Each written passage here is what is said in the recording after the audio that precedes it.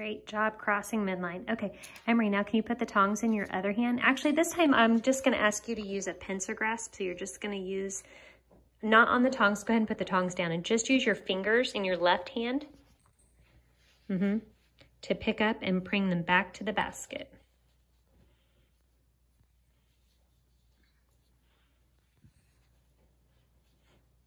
Just your pinchers.